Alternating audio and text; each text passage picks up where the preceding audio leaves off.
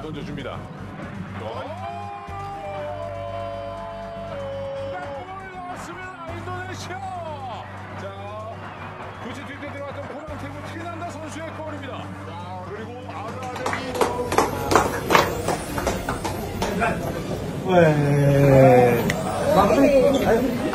We stop or we continue? Continue! Stop or we continue? Continue! We make history happen, okay? Okay. Ayo.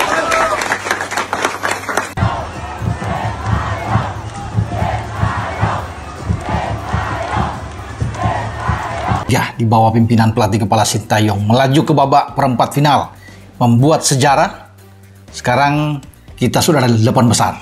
Itu berimbas dari kemenangan kita atas Jordania. Tidak ada yang menduga bahwa Rizky Ridho dan kawan-kawan bisa mengalahkan Jordania dengan 4-1. Melesakkan 4 gol di gawang Ahmad Juaidi penjaga gawang Jordania ini tidak mudah. Jordania ingin menang karena itu target mereka tidak boleh imbang apalagi kalah. Starting eleven yang dimainkan STY itu dengan 3-4-3 tetap dipertahankan ya. Dengan ada Ivar Jenner. Kelihatan sekali bahwa kita memang kuat. Nah, kita lihat ketika Marcelino bisa membuat gol dan kemudian ada gol cantik dari Witan Soleman ini sudah memukul mental dari pemain-pemain Jordania ketika di menit 40 dimulai dengan pergerakan dari Marcelino dan Rizky Ridho pemain belakang ada di depan. Bagaimana dia bisa melihat ada pergerakan yang sangat bagus dari Marcelino kemudian dia tidak menahan bola, dia langsung memberikan searah dengan penetrasi ke dalam dari Witan Sulaiman dan Witan tidak menunggu lama karena dia dikawal juga oleh dua pemain dari Yordania untuk dia memplacing bola dengan kaki kirinya dan menaklukkan Ahmad Juaidi. Gol kedua ini yang saya pikir sudah memukul bagi Yordania karena mereka tidak menyangka ya, ketika mereka asik dengan bermain untuk mungkin uh, mengambil ball position ya untuk menekan kita tapi kita mendapatkan di babak pertama sudah dua gol. Itu yang membuat rusak mental uh, mereka. Sudah tanggung sudah di babak 8 besar perempat final. Dan STY sudah membuktikan mewujudkan ya bagaimana uh, dia mentargetkan untuk bisa lolos ke 8 besar tinggal menuju ke empat besar. Tapi nanti dulu sekarang kita amankan babak 8 besar kesepakatan dengan Pak Erik sudah selesai dan selamat buat STY karena di video saya sebelumnya juga uh, Pak Erik sudah menyiapkan uh, tanda tangan untuk perpanjangan kontrak baru sampai 2027 saya pikir dengan hasil ini sudah pasti ya STY mendapatkan kontrak itu. Tidak perlu menunggu ya. Mungkin balik dari Piala Asia U23 ini ada tanda tangan langsung dan dia sampai 2027 Coach, bagaimana pandangan Coach melihat situasi timnas di bawah asuhan Coach Sintayong sekarang, Coach? Ya, berkembang sangat pesat sekali menurut saya karena uh, sudah boleh dikatakan mayoritas pertandingan itu bukan dengan klub selevel ASEAN ya, Asia Tenggara ya, tapi Asia pada umumnya dan hasilnya cukup baik. Saya merasa cukup baik beberapa tahun ini mampu mengikuti Piala Asia, mampu mencapai level lebih tinggi daripada sebelumnya ya, bukan Piala uh, Asia Tenggara saja, tapi sudah mulai berkiprah di kompetisi besar di Asia, ya, tertinggi di Asia di beberapa kelompok umur. Kalau kita bicara bahwa Indonesia sekarang ini mulai mencapai level itu, saya rasa sudah lepas dari mereka. Sekarang kita lihat ya, dulu Indonesia sering kebobolan karena bola tas, crossing bola tas sekarang kita bisa lihat hal seperti itu sudah terjadi lagi karena ya sudah lepas dari postur pemain yang naturalisasi yang sangat membantu dalam hal itu.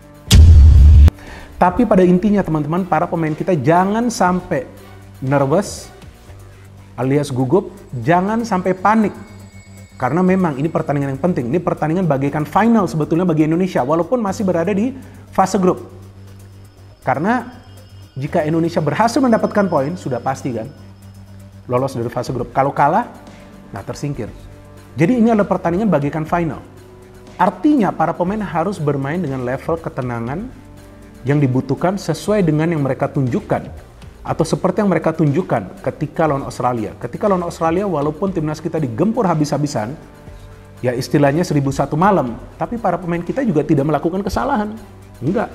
Tidak melakukan kesalahan di lini pertahanan. Karena apa? Karena mereka tenang dan mereka percaya diri. Dan saya harapkan untuk pertandingan ini jangan sampai overconfident karena bisa mengalahkan Australia. Jangan. Tetap rendah hati dan tetap fokus kepada rencana permainan dari Sintayong. Ya memang selama STY pegang kan nggak nggak pernah terlalu tajam. Maksudnya tajam itu adalah sangat agresif, sangat Ya. produktif kan nggak pernah. Dari awal Kecuali di. Hanoi 3-0. Oke. Tapi di Hanoi 3-0 timnas senior. Catat ada Tom Hai, ada Ragnar Oratmangun gitu. Ya. Kalau Rafael Strike kita bicara sebagai andalan di depan, kan belum bikin gol juga.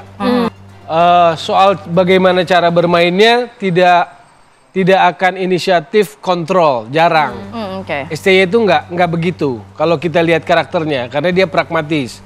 Maka saya lihat dia akan compact, ha- hati-hati akan defend. Kalau defend tuh retreat ke bawah counter attack. Begitu aja saya lihat kalau STY. PSSI dan juga uh, STY yang nantinya mungkin ini perpanjangan kontraknya akan Iya. terjadi nantinya sampai mungkin dalam jangka waktu panjang. Kalau dalam peperangan seperti ini Piala Asia lolos ke delapan besar pun kan belum, masih ditentukan nanti malam. Sebetulnya tabu. Iya. Kalau dalam tabu, Bang? Kalau dalam pikiran pure profesional bola nanti dulu jangan ngomong itu dulu. Oh gitu. Kalau yang kita belajar ilmu bola langitan lah. Pep Ini siap-siap nanti ramai juga komentar ya, Bang. Ya nggak apa-apa. Makanya ngomong bola itu nggak boleh baper. Oke, squad Garuda ini kan juga jauh lebih baik gitu kan, ada tren positif gitu paling tidak. Dan positifnya apa? Terlepas dari menang, terlepas dari waktu Qatar itu wasitnya kontroversial, Ya. itu firm, kan juga kalah di situ. Jadi kan ada fluktuasi, ada kon- ada belum konsisten gitu Oke, loh.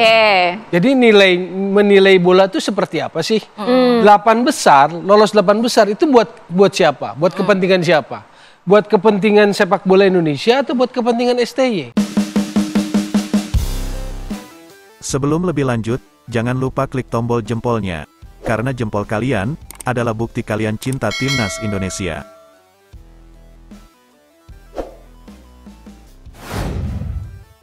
Mantan pemain klub Liga Inggris puji kualitas timnas Indonesia yang sukses menumbangkan negaranya yaitu Australia di Piala Asia U23. Penampilan timnas Indonesia di Piala Asia U23 kali ini memang banyak menuai pujian karena di luar dugaan bisa berbicara banyak di grup neraka. Seperti diketahui, pasukan Sintayong tergabung di grup A yang berisi tim-tim kuat langganan juara Piala Asia U23 seperti tuan rumah Qatar, Australia, hingga Yordania. Di laga pembuka menghadapi Qatar, timnas Indonesia harus bertekuk lutut dengan skor 0-2 yang ketika itu diwarnai oleh insiden dua kartu merah. Saat itu, keputusan wasit Nasrullah Kabirov dinilai banyak merugikan timnas Indonesia, salah satunya ialah kartu merah kontroversial Ivar Jenner yang dianggap melanggar keras pemain Qatar. Pelatih Sintayong bahkan sampai mengatakan kepada media jika moral skuad Garuda sempat menurun usai kekalahan dari tuan rumah Qatar. Namun, timnas Indonesia akhirnya bisa kembali bangkit di pertandingan selanjutnya saat menghadapi tim favorit juara yakni Australia. Aksi heroik dari para pemain timnas Indonesia U23 itu membuat banyak penonton terkejut hingga menarik perhatian sejumlah legenda sepak bola. Di antaranya ialah legenda Australia sekaligus ex-pemain klub Liga Inggris yaitu Tim Cahill dan Mark Schwarzer yang kerap memantau perkembangan sepak bola negaranya. Tim Cahill dalam sebuah wawancara mengaku tidak menyangka jika perkembangan timnas Indonesia begitu cepat hingga mematahkan prediksinya. Ini gila, tapi ini akan menjadi lebih baik. Semula saya berpikir setidaknya butuh lima tahun untuk timnas Indonesia berkembang, ternyata lebih cepat dari perkiraan saya, kata Cahill. Mereka sungguh berinvestasi dan saya percaya mereka akan melakukan banyak hal besar dengan pemain muda, tambahnya. Di sisi lain, ex-penggawa Liga Inggris lainnya yang juga legenda Australia Mark Schwarzer mengungkapkan kekagumannya terhadap timnas Indonesia. Secara khusus, Mark Schwarzer memuji kualitas dari kompetisi lokal Indonesia yang semakin berkembang meskipun ada hal-hal yang perlu dibenahi. Mungkin saya baru menonton beberapa pertandingan kompetisi Indonesia, tapi saya cukup kagum dengan kualitas kompetisi di sini, tutur Schwarzer. Bukan tanpa alasan Mark Schwarzer memuji kompetisi Indonesia. Pasalnya sang anak yakni Julian Schwarzer merupakan kiper dari klub Liga 1, Arema FC di musim ini. Mantan kiper Chelsea itu bahkan beberapa kali terlihat datang langsung ke Malang untuk menyaksikan sang anak yang tengah memperkuat Arema FC. Erik mengungkapkan hingga saat ini PSSI masih merasa puas dengan kinerja Sintayong di tim nasional. Ketua Umum PSSI Erick Thohir menegaskan pihaknya menjunjung profesionalisme terkait perpanjangan kontrak Shin Tae-yong sebagai pelatih timnas Indonesia. Erick menyebutkan, PSSI sudah menyiapkan kontrak hingga 2027 buat Taeyong. Kendati demikian, lanjut Erick, kontrak tersebut tidak diberikan begitu saja kepada Taeyong. Menurutnya, juru taktik asal Korea Selatan itu harus memenuhi persyaratan yang sudah disepakati kedua belah pihak. Dua kesepakatan yang harus dipenuhi Taeyong adalah meloloskan timnas senior ke-16 besar Piala Asia 2023, serta membawa timnas U23 melaju ke perempat final Piala Asia U23 2024. Dari dua persyaratan tersebut, satu sudah dipenuhi. Sekarang Taeyong hanya perlu membawa timnas U23 ke perempat final. Target itu bisa terrealisasi sepenuhnya jika timnas U23 bermain imbang atau menang melawan Yordania di laga pamungkas grup A Piala Asia U23. Ya kan sampai 2027, saya sudah ngomong, ujar Erik terkait durasi kontrak Taeyong selepas peringatan hari ulang tahun, hak PSSI ke-94, Jumat 19 per 4 dikutip laman kantor berita antara. Itu kan sebuah komitmen yang kita sudah sepakat sama-sama bahwa ada target-target untuk pelatih STY sebagai profesional, dan dari saya sebagai profesional punya kesepakatan.